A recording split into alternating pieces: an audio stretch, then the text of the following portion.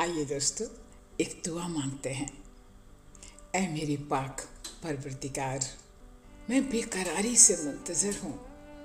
ये दुनिया इस बरस किस हाल में रहेगी, कुछ तो बता तकदीर कोई और खेल तो नहीं खेलेगी।